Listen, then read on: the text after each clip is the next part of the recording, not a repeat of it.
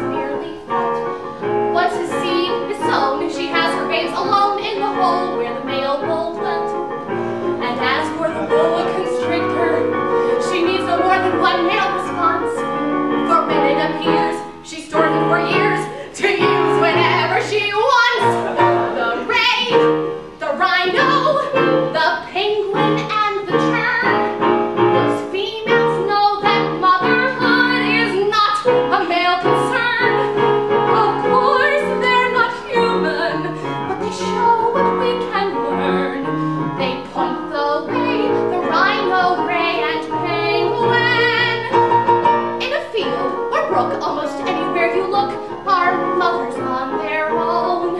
In the deep, on high, mothers kiss their mates goodbye, and they raise their young alone. Now I make the grief, Claire the mantis, who decapitates her mate during sex, but I do like the hawk, who makes the squawk, and then croaks at her ex. The bitch, the its son, the queen bee,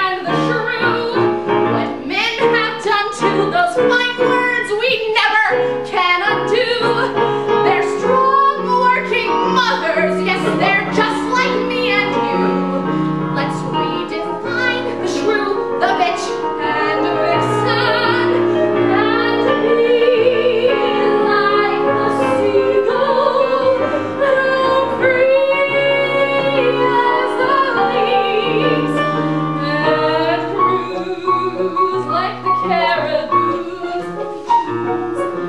not have to wait for those sly little winks. From some man who envies the sex like a minx, and not have to guess if he's one of the finks. Or whether he drinks or whether he stinks or what he thinks.